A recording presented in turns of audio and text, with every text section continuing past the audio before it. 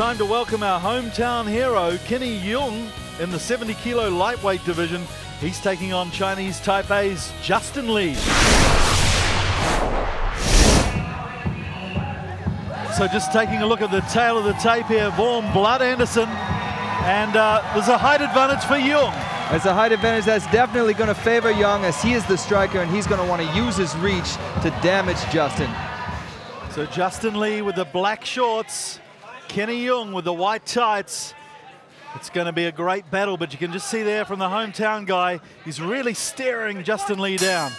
There's no secret what's on Justin's mind. There's no secrets on Kenny's mind. Kenny looking to bash him with strikes, with kicks. Justin looking for the takedown and the submission. This is a classic battle of striker versus grappler. You've had a lot to do with the development of Justin Lee yourself, Paul. I've known Justin since he was in high school. I haven't seen him for three years, but he started his jiu-jitsu training with me in Taichung, central, central Taiwan. Goes for the takedown there. Yeung manages to elude it.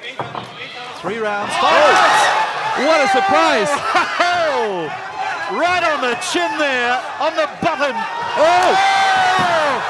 Oh! Oh my God! It's Justin Lee's bashing. Then what an upset! What an upset! Oh my God! Wow! A lot has happened in three years for Anderson. What? What an upset! Look how happy he is.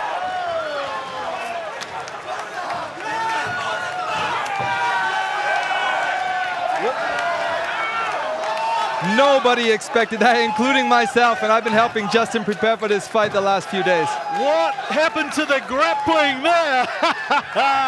no need for grappling when you put in shots like that. Look at striking coach James Martin. He's acting like he won the fight.